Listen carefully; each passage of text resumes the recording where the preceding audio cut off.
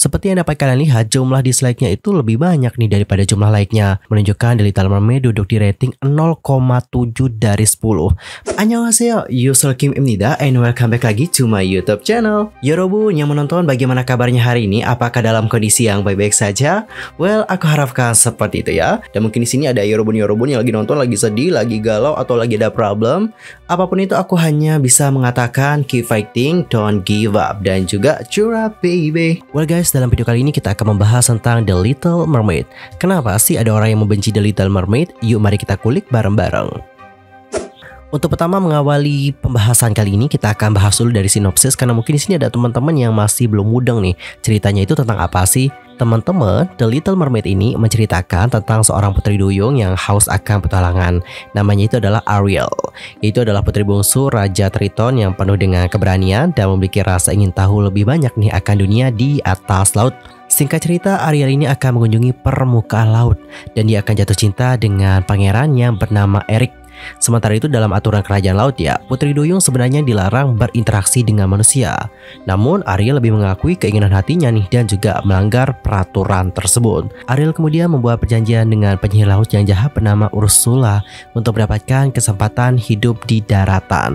Yang mana ini merupakan sebuah perjanjian yang menempatkan hidupnya dan kerajaan sang ayah dalam bahaya.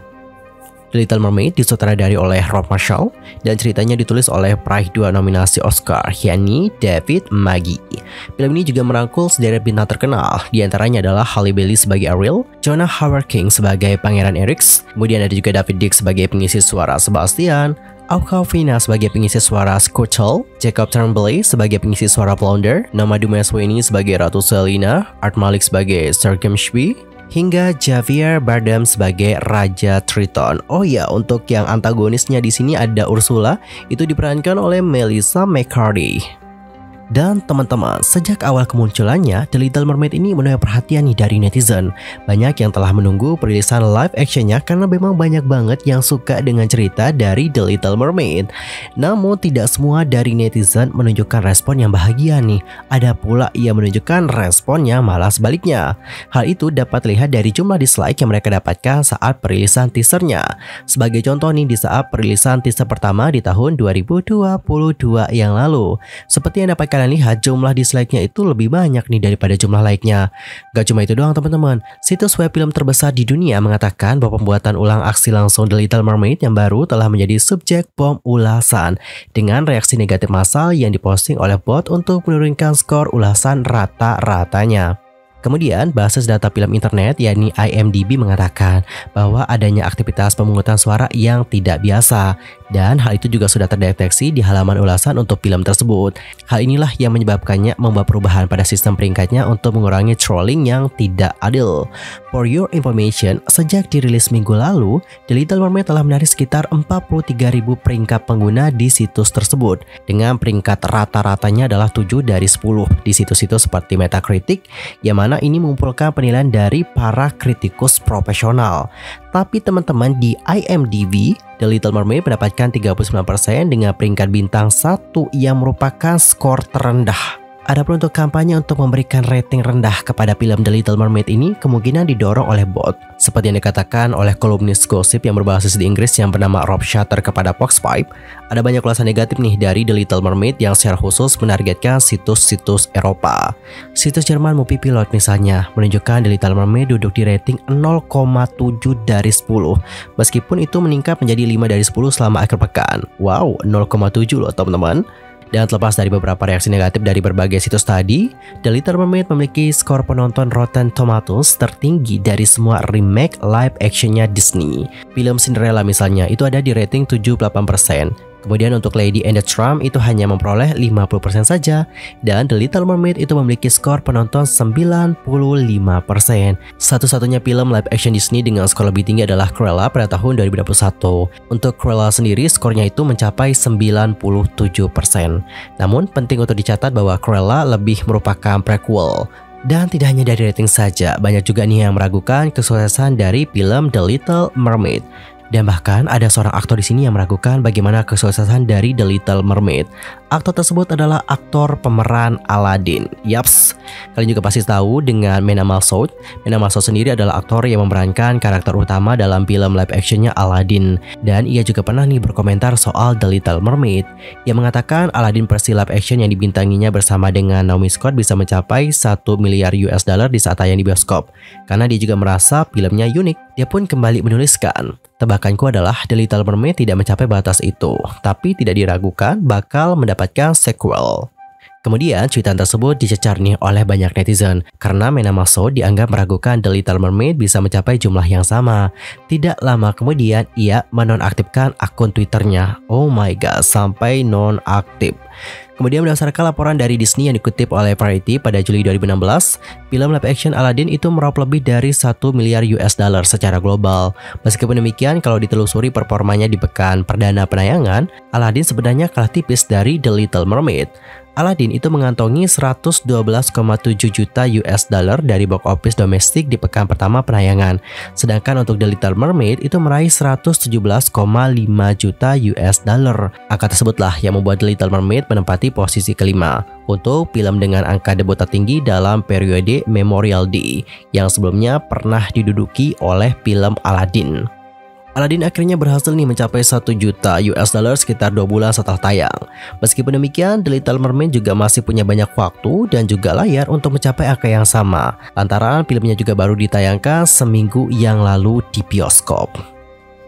Lantas kira-kira kenapa ya untuk The Little Mermaid ini banyak dikritik dan juga dibenci? Alasan pertama adalah pemilihan pemeran utama yang berbeda dari versi animasi.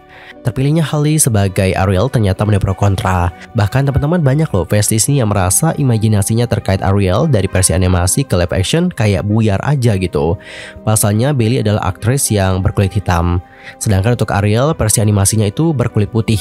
Nah aspek ini menjadi yang paling banyak dibicarakan ketika Halle Bailey diumumkan memerankan Ariel di live action The Little Mermaid. Namun banyak juga kok fans yang mendukung Halle untuk memerankan Ariel. Mereka juga merasa Disney sudah menunjukkan diversitasnya. Apalagi Halle Bailey juga memiliki kemampuan vokal yang benar-benar amazing.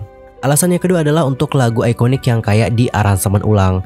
Hal ini juga dikonfirmasi sendiri oleh komposer The Little Mermaid, yakni Alan Menken, yang mana ia mengungkapkan lebih lanjut bahwa akan ada perubahan lirik di dua lagu ikonik film Putri Duyung tersebut. Dilansir dari Vanity Fair, Menka mengungkapkan bahwa lirik dari lagu Kiss the Girl dan juga Poor Unfortunate Souls terlalu ofensif, sehingga harus dirombak. Liriknya juga akan diperbaharui demi mengikuti penonton yang sudah modern. Alasan yang ketiga adalah modernisasi yang menghilangkan ciri khas klasiknya The Little Mermaid.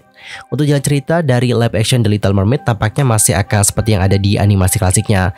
Namun fans juga merasa khawatir jika film yang sudah mereka tunggu ini akan kehilangan cerita, pesona, dan daya tarik aslinya. Pasalnya, Disney juga sudah memperlihatkan bagaimana modernisasi dari film tersebut. Fans juga bisa melihat dari penggambaran tokoh Ariel itu sendiri. Hal kan memang ya memiliki kulit yang lebih eksotis.